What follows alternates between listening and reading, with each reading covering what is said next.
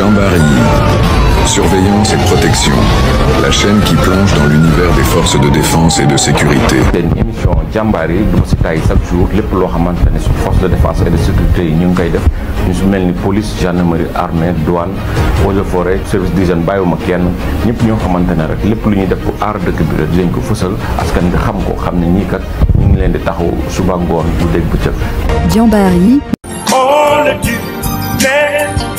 On ne déshonore paix à nos braves Diambar. N'oubliez pas de vous abonner à notre chaîne Jambari, aimer et partager. C'est le fruit d'une synergie d'action entre la brigade de recherche de gendarmerie de Kermassar, la brigade de la gendarmerie de la zone franche industrielle et la brigade de la gendarmerie de Tcharoy.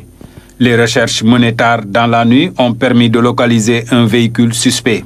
Le déplacement de nos hommes, notamment du commandant de brigade de zone franche, a permis effectivement de trouver le véhicule sur place et après fouille, le produit y trouvé exactement. Il s'agissait notamment de 5 sacs de 100 kg de chanvre indien. Les gendarmes ont aussi démantelé un réseau de personnes qui s'activaient dans les faux billets.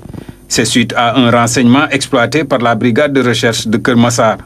L'exploitation de ce renseignement a permis à la brigade de recherche de Kermassar de mettre en place un système de suivi de cette affaire.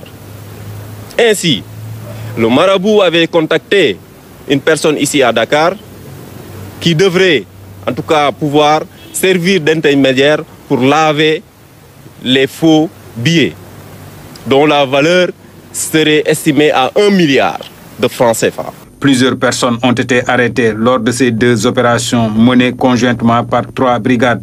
Les recherches continuent pour trouver d'éventuels complices. Paix à nos braves. N'oubliez pas de vous abonner à notre chaîne Jambari, aimer et partager. Soyez informés de toute l'info en continu en découvrant toute l'actualité sur les Jambars.